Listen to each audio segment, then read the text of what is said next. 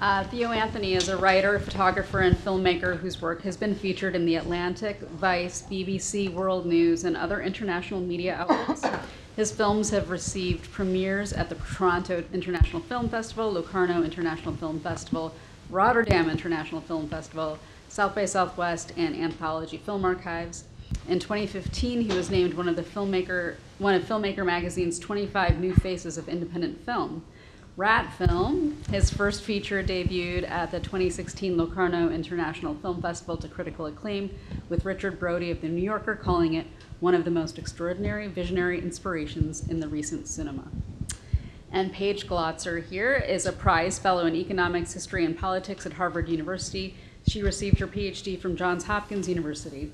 Her research is on the uh, history of housing segregation in the 19th and 20th century and brings together discussions of political economy, cultural history, and the spatial construction of difference.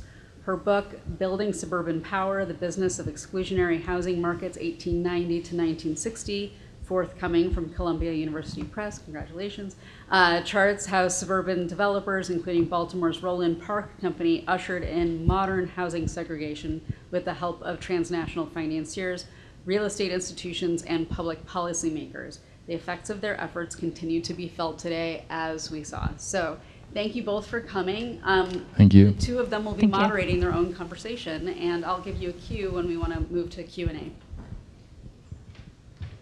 Okay. Well, thank you very much. Um, every time I've seen the film, I just continue to pick out new things from it. But there's so much that I'm, I'm very curious about, and such a pleasure to finally be able to sit down with you and talk about the film.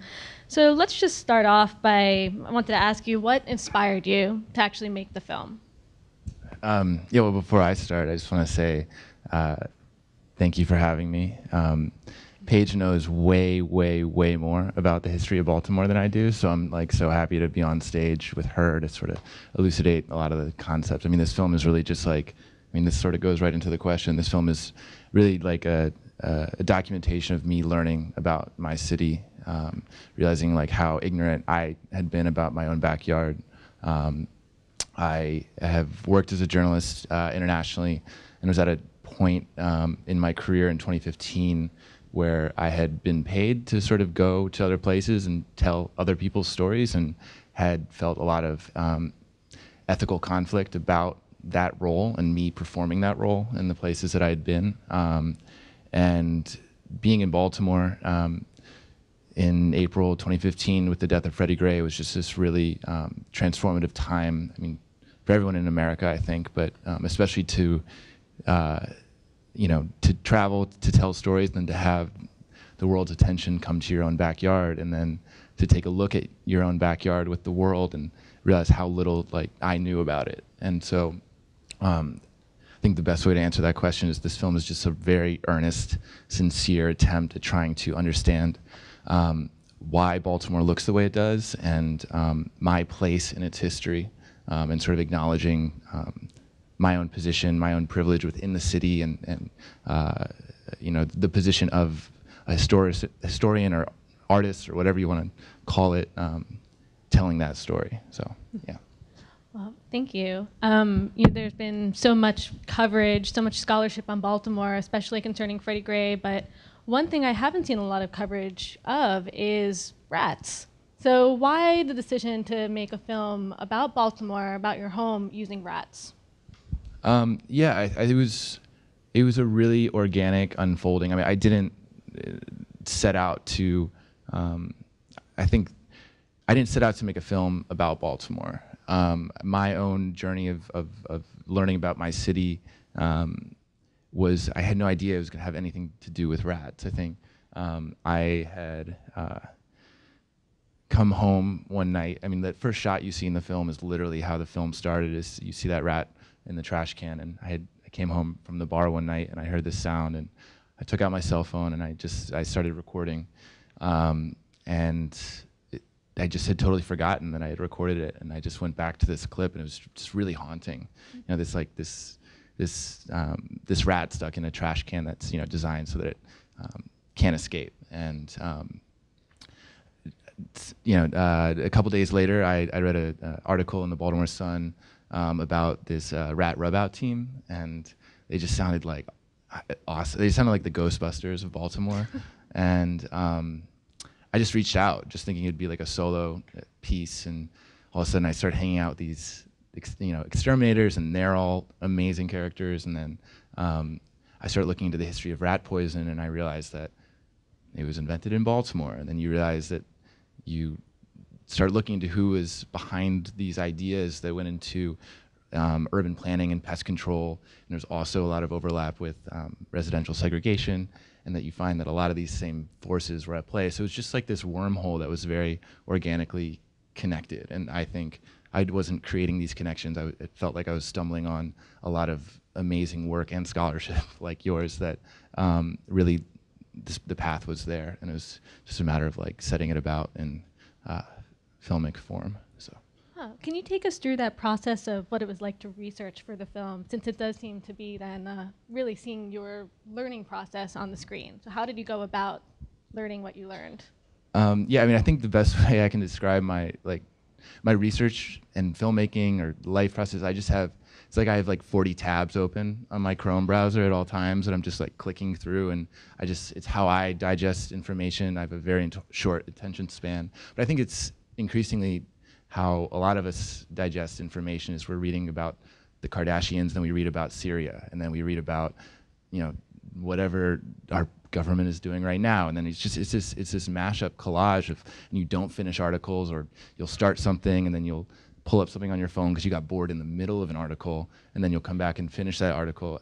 And like what is happening to our expectations of editing and, and, and, and storytelling when that um, sense of discontinuity and disruption is inherent in how we um, digest stories. So I, I don't know. That's it's a long-winded answer of saying like I my what you see on the screen is very true to how I came across the information. If it was a map, it's a map in the film. If it was me hanging out with Harold, like that's us hanging out for the very first time.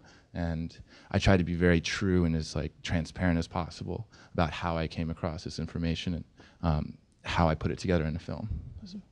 Well, let, us talk about some of those maps um, that you saw. One thing that really struck me was how some of those maps, such as a redlining map, might look very familiar, but when you start to actually map all of those current day statistics onto Baltimore and onto that map, it was amazing to me how much really matched up almost exactly. Um, what was that kind of process like for you? And can you take us through maybe how you kind of came about um, those various kind of correlated correlations and your decision to kind of put them in the film? Yeah, sure. I mean, I was um, I was totally ignorant to the history of redlining in America before this project, and I was just really surprised that something that's had such a uh, overwhelming hand in the shaping of our cities was, you know, not the first thing that you're taught in like a civics or a history class. And um, it's, I mean, it's just. I should also perhaps, and you're a much you know uh, higher authority on this, but it's obviously not the only thing that leads to the shaping of cities. But it's one. I think it's a perfect like metaphor and model for a lot of these policies and ideology behind um, these policies. So um, just yeah, very practically speaking, um, I uh, came across the work of this um, data scientist named Evan Tachovsky, who um, around the time of the uprising had done a, a big project um, redlining maps you know, it weren't just Baltimore, obviously. Like uh, every, basically every city, major city. Uh, over 200 redlining maps across the country, big cities and small. Yeah. Um, so he, he did this. He did this amazing project where he actually overlaid census, overlaid census data on top of redlining maps. Um, but I, also just to complicate things further, and this is like part of you know where not everything is clean. It's you know I only showed the correlations that matched up. You know, mm-hmm. you know, mm-hmm. and that's what's important. You know, when you're thinking about maps, is not what you see, but what you don't see, because who gets to in, interpret and make the call of what is signal and what's noise is like you know where power is exercised. So um, yeah, but that's something obviously like you could probably speak to as well.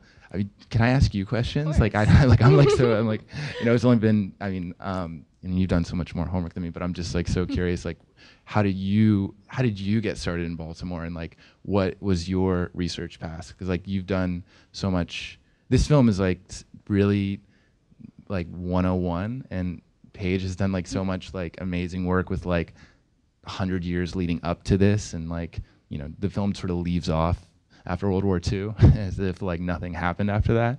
Um, and yeah, I, yeah, I'm curious like how you came to this.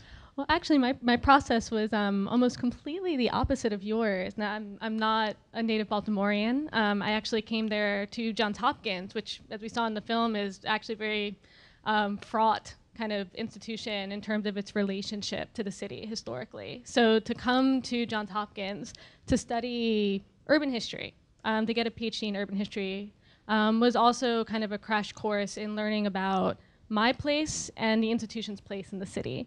And very quickly, um, I started looking through records in the Johns Hopkins special collections, and I came across um, realtor records from some of Baltimore's major developers, white suburban developers, um, including the Roland Park Company.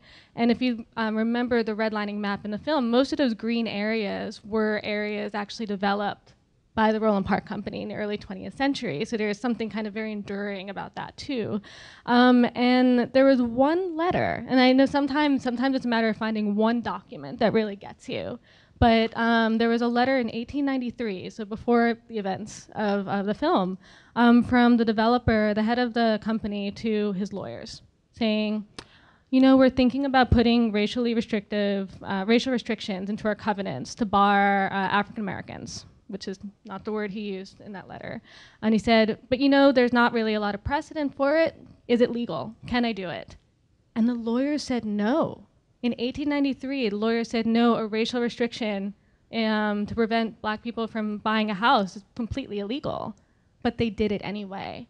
And that's what actually started me on my project. One, it surprised me that there was a question about legality in the 1890s, I would have assumed everyone was doing it in the 1890s. And two, that they saw enough demand and enough kind of, they, they made enough assumptions about what might pr- be profitable to basically go and risk doing something completely illegal. Um, and in many ways, that's what I see as one of the major starting points for um, what we see now is still this kind of ossified map um, of Baltimore.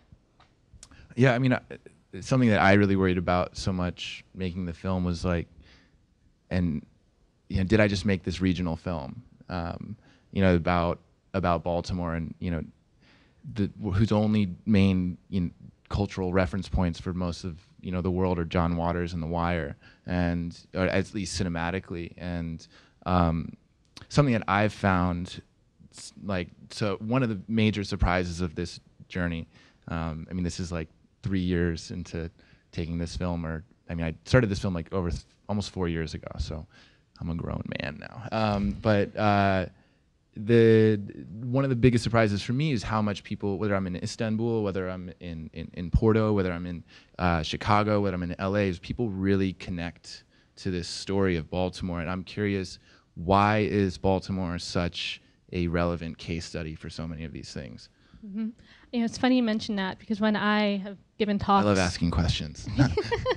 when I've given talks um, inside, like in Baltimore and outside Baltimore, I've I've also actually found just such a high level of interest and um, from audiences I didn't expect, uh, especially audiences very far away from Baltimore who, you know, I wonder what what interest do people have in this kind of small city, small-ish city relative to what it used to be. Um, and I think that there there's a, a, kind of story here about you mentioned it, power, about how we see certain people, often white men, developing certain platforms for power, and we see this legacy of how it influences all sorts of things, resource distribution, um, kind of the sort of macro scale about who gets what, and then we get these personal stories about how that affects if someone can use their backyard, if someone can bring their kids into their backyard because there might be there might be rats in it. Um, how are neighborhood borders kind of circumscribed, and who enforces those? Who gets a stake, right? In, in labeling and determining what the city looks like. And I think that that's something that really um, it has many versions of it wherever you go. Um, you mentioned, I mean, in the film that in some ways you mentioned this is an American kind of creation myth, but you also mentioned the world you know, um, when we start looking at power and we start looking at power dynamics, you can really take this in so many directions. Um, and it doesn't have to just be an American city. Yeah. No, I remember we had a there was a screening in Seattle, um, which um, headquarters of Amazon, um, and there's a lot of parallels to be drawn with the presence of um, Amazon um, in Seattle is like Under Armour and Hopkins. Under Armour has its headquarters in uh, Baltimore, and they're like the fucking empire. They just own everything, along with Hopkins, and um, are sort of turning it into their playground, um, corporate playground. And there was a lot of Amazon employees in the room, and it was really interesting to sort of see these dynamics play out, but transposed to an entirely new city. And I think, I mean, you were you were asking before. I think even before this film started, like what got me what got me started, and even I have never taken any urban planning courses. I've never done this. This was really, as I said, like my education.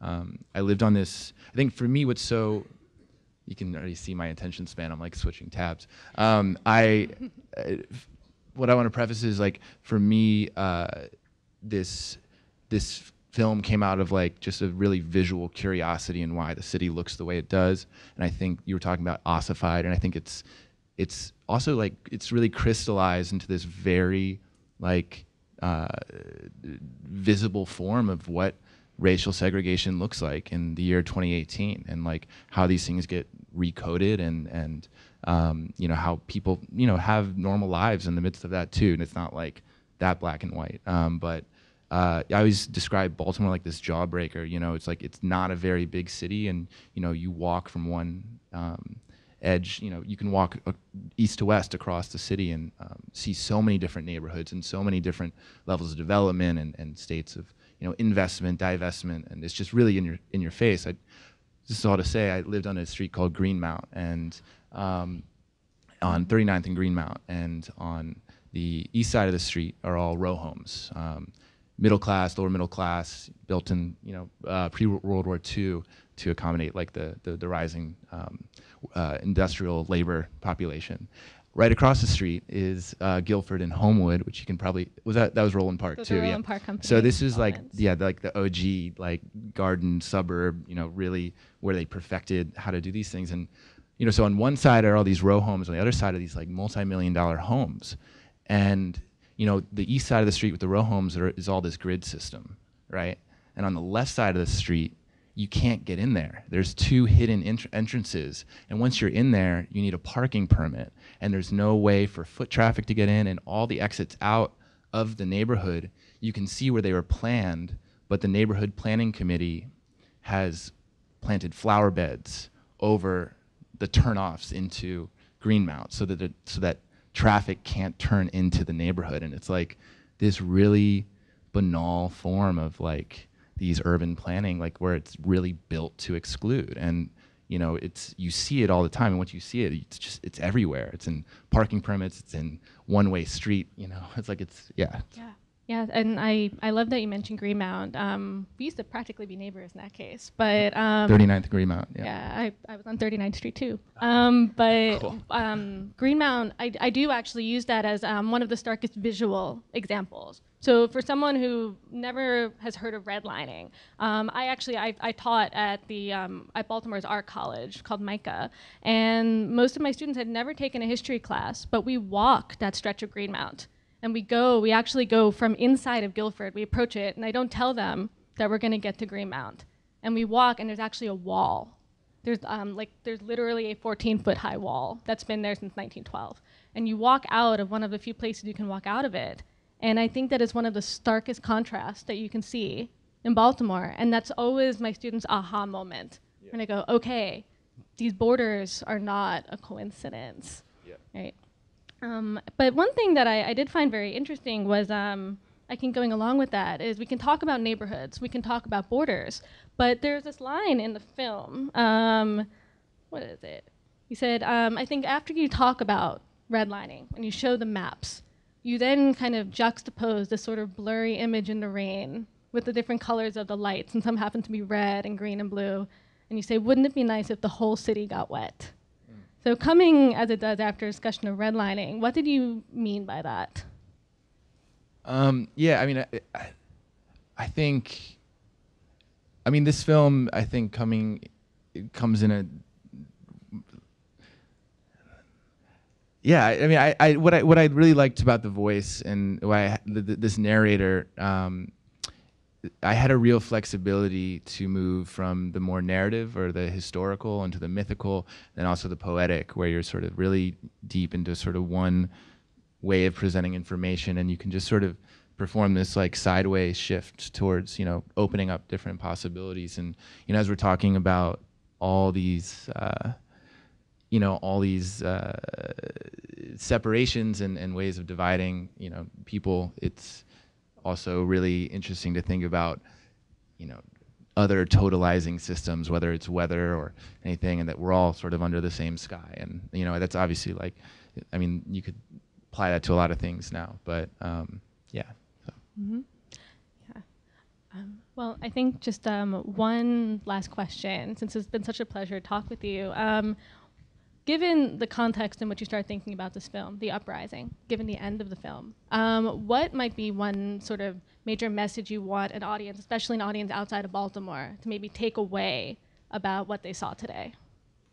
Um, yeah, no, I'm, I'm glad you asked this. I, I think that it's something that comes up a lot. I'm really interested in, in the language we use to talk about film. I mean, obviously, like, you know, you shoot you shoot a camera, you load a cartridge of film. It's all like military industrial terms, you know, with cameras. And I think you know you capture your your subject, or you dive deep, as if like you're fracking. You know, you have to dive deep beneath the surface to tell the real story, as if you know. So when people ask for the takeaway, you know, it's almost like it's this takeout meal. You know, as if like it's this, it's, the film is like we're really groomed for that expectation of uh, a film is something you go and you take away and why that that verb to take rather than like I mean, what other language do we have to use that? So I think for me, I'm not like trying to purposely avoid the question, but I always think it's really interesting, um, and it really gets to the heart of like why so much issue that I take with like contemporary documentary uh, surrounding, especially with like social justice films or films that deal with social issues, is that they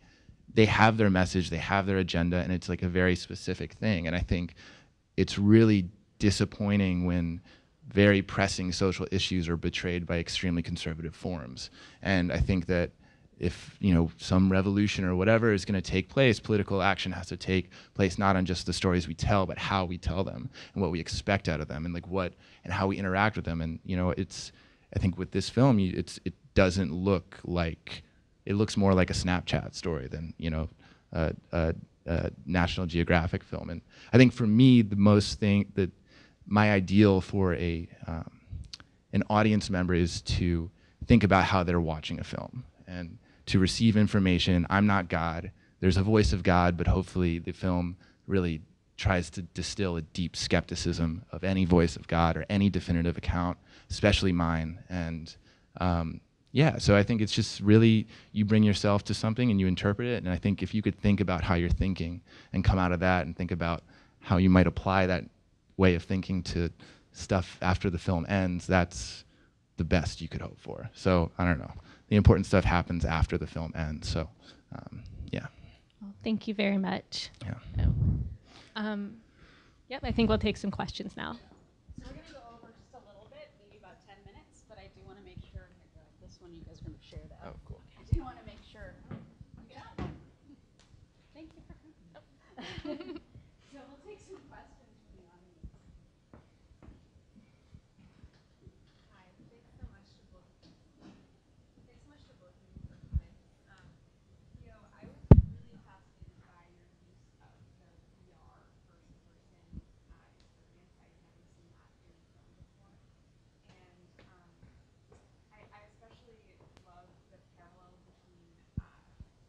That that woman had uh, looking at and exploring a neighborhood that she wouldn't otherwise have had access to, and the sociologists and researchers doing exactly the same thing um, with their experiments. Um, and I guess I have two questions about the use of VR.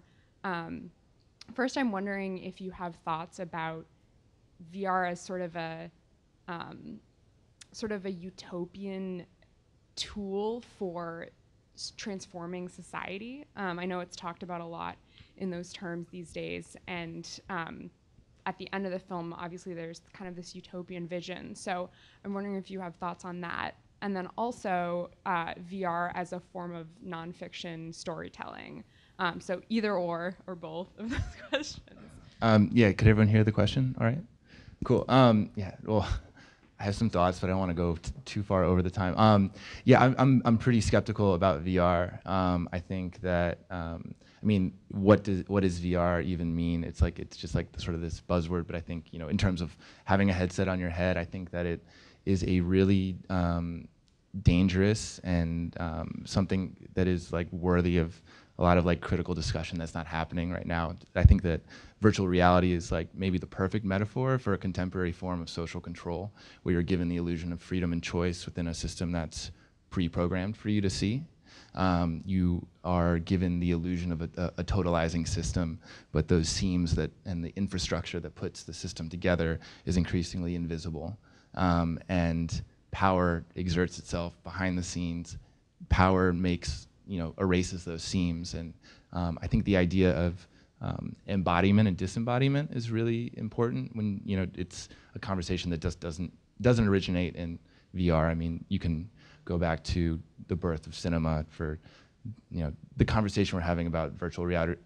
Virtual reality right now was had in the 20s and 30s with 360 theaters and the sort of the myth of total cinema, um, which is like an essay in the 40s by Andre Bazin, I think. Um, but um, yeah, I think that's the first part. I think, and then in terms of utopian, um, I don't know. I, I don't have the, the the the ending. I think to me is is maybe more sarcastic than a utopian thing. I think that the myth of the tabula rasa of like let's just start again is like you know shock doctrine of of neo you know liberal like development and you know if only we could start again if only we could erase the slate forget our mistakes but like how much violence is enacted in order to wipe the slate clean and who gets pushed to the margins even more and who gets to build on top of that.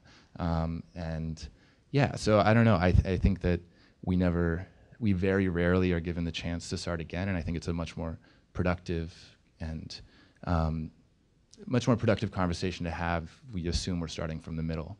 Um, so yeah, I, I, could talk a lot more about virtual reality, but I'm, I'm for the most part deeply skeptical. Um, yeah. And if I could just jump in for two seconds, um, what struck me about um, the virtual reality was the idea of an algorithm, and that really had a lot of historical parallels for me. That you're trying to planners, some of the people we, we saw in the film were trying to program reality based on an algorithm. Redlining was an algorithm. They actually filled out formulas on a sheet.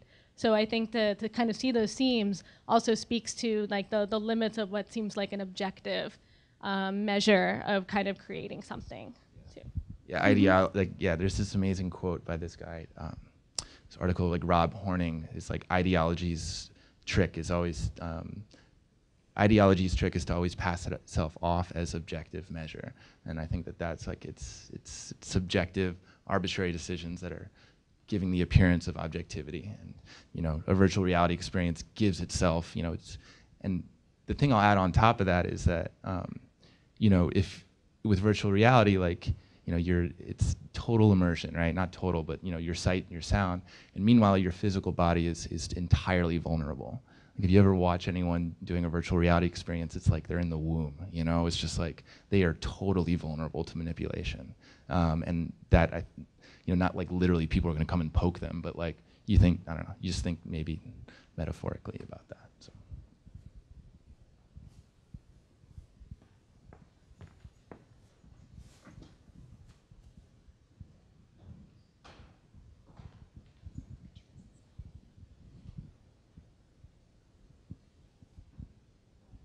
Hi there. Film was awesome. So my question is about I feel like your film like celebrates the mundane, like we see, which is beautiful, right? Like we see the everyday lives of people in Baltimore dealing with this issue. And you talked a little bit about the traditional documentary at the end, and you said that, and I'm sort of thinking like in the traditional documentary, they always show the other side of power, as you were alluding to, like the decision maker who sort of controls the outcome of the disenfranchised. And in your film, you don't show that perspective, right? Like you don't see that guy sitting at his desk with the camera focused on him. And I wonder why you did that. And I would love to hear you talk a little bit more about why we didn't see that as much in mm. your film. Um, yeah, no, that's a great question. Um, I think, you know, I I was really at the time, it, I was really just going from like one character to the next and like one tab to the next without sort of thinking about telling um, the overall tale. And I think that like you know that idea of balance like you know the cnn idea of balance that we have like a two you know panel discussion and that we have them yell at each other and that's like a balanced conversation like you know and, and i think my issue with um, and i'll get to the part of the question at the end but the um, i think my issue with a lot of uh, con- mainstream documentary, especially social issue documentary, is that the filmmakers place their humans in this like subject box that that, that they then task those humans like to crawl back out of and become human again. And that like deliverance of of a subject, whether it's like, you know, oh, let's look at this really poor child in an Indian slum and let's tell his story and you're only understanding that person through their adversity and through their trauma without actually allowing them to define who they want to be on screen. And I think that it's this really unfair trick that is really entertaining and it gets consumed really fast and you have a really take a good takeaway message of poverty equals bad humans equal resilient and like you just the funding cycle continues and um, i think i try to not come with that box and to like see how people if i give them a platform what is the version of themselves that they want to show me? I think that if you look at the film a lot of it's just like people giving me tours like walking around. Um, and yeah i mean i think i don't know i i I, I, don't know how I in, in terms of like why didn't I show like the power? I, I don't know who I would I would show. I mean like I could do a ride along with police, but the police are following orders, and then I could do a ride along with the mayor, but the mayor is going to give me sound bites. You know, I think for me, I'm with the like with the film's called Rat Film, but I never really try to understand what a rat is. I just am const- I'm more interested in the rat as like this gravitational center, and how does how are all these other subjects and ideas and people and histories drawn into orbit around that? And I think the film is this is this circumnavigation of that orbit. And um, I feel like I'm still not really answering your question, but um, yeah, yeah, yeah. I just I just don't know. Like, and also like sometimes those people are really boring. And like I think like, I mean. You can hear it when Harold talk. Like Harold is so sick of his bosses, you know. It's like you can hear it in his voice, and he's just like, I mean, I have so much great material that I didn't put in there because I didn't want to get him in trouble. But like, uh, you know, of him just railing against his boss, like that's the management, that's the boss man, and like so you feel that there, but you don't necessarily have to, you know, visualize the boss man to feel the impression that like the boss man's leaving all over the place. But, yeah. Um, we'll take uh, two more quick questions. Yeah.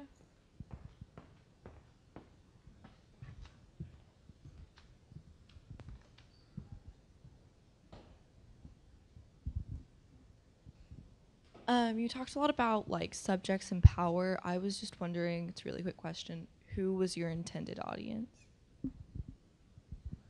Um, I don't know. I really didn't think anyone was gonna make this, see this film. I like, I, I, so I shot this film uh, for like a year and a half by myself. Um, I self-financed it, like saved up money, and I mean, it was just like I bought a lens and like I shoot it, I edit it, I write it, and um, I had an entire first cut of the film.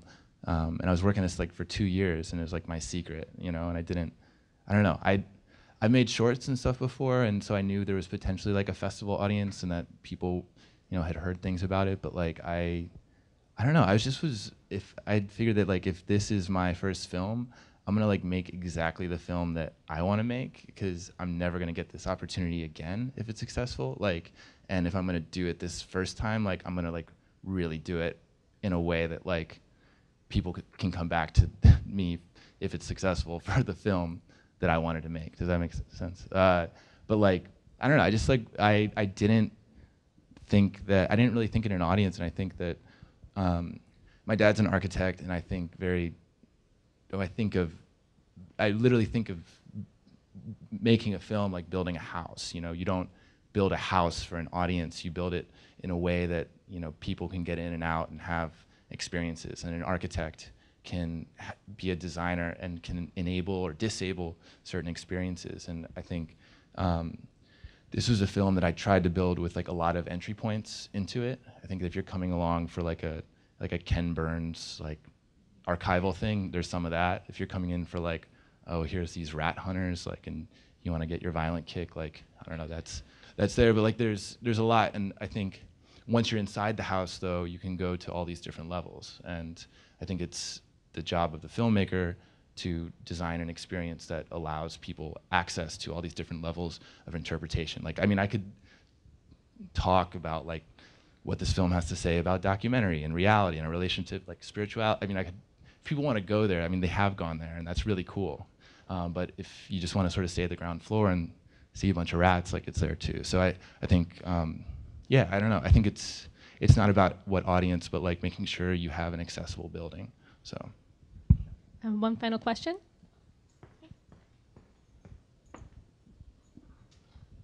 Thank you for this film. Um, I kind of wanted to talk a bit what you were saying earlier as far as why would anyone care about your city and like it being a small city. And I guess this can be for either of you. Um, with redlining, um, I feel like we generally talk about major cities like New York, LA, Chicago. Um, We're not a major city.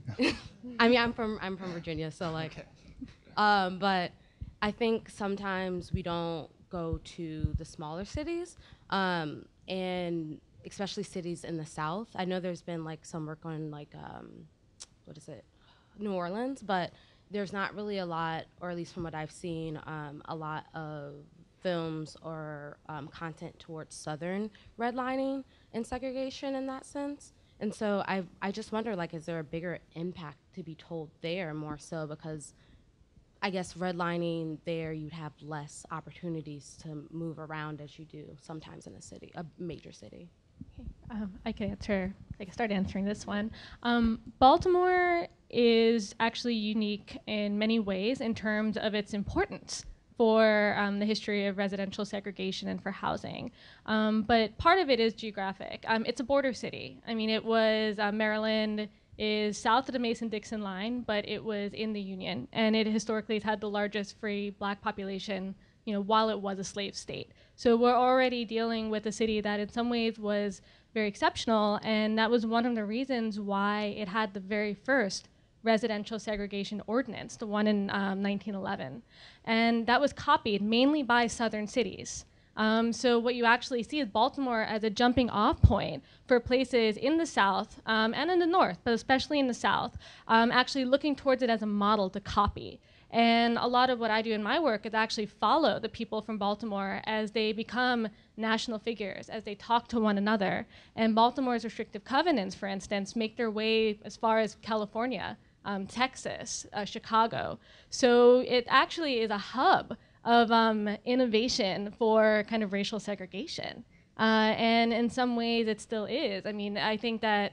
Uh, especially now as we see the way that gentrification is starting to work in the city, the ways that um, policing uh, continues to basically um, really shape people's mobility, it is still a hub for looking at how race and racism is working in America. Yeah, no, I mean, and but also like the point of like, um, I mean, that does sound like a really interesting film, and it sounds like there's something to be made there. Um, I think in that case, you know, I don't, I'm from Baltimore, so like I was exploring my own backyard, but I think that there's a film to be made there, and there's, I, there's, I, I just saw like, I mean, maybe there is like a tradition. Uh, of there's a couple films who've come out really recently, like about maybe not specifically to redlining. Um, there's a film by uh, Travis Wilkerson called uh, "Did You Wonder Who Fired the Gun?" Um, it just came out, and um, these are not like as urban planning focused, but it's like just life in um, cities in the South. And then my favorite film restored my faith in filmmaking. It was in the darkness for a while, but um, there's a new film coming out called Hale County this morning, this evening by RaMell Ross, and like it's uh, about this town in Alabama, and it's just it's like breathtakingly beautiful, and um, that just premiered at Sundance and will be coming to festivals and um, theaters hopefully soon after. So I just can't that if I can end it just on a recommend, like a full-hearted recommendation, I can't. RaMell is like so such a beautiful person as well, and um, has made such an, an amazing film, and so definitely check that out when you get a chance. Okay, well, thank you very much, everybody.